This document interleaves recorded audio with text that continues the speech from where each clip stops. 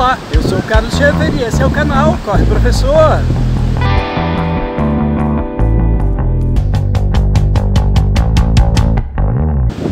Hoje mais um vídeo da série TTT 2019 Travessia Torres Tramandaí.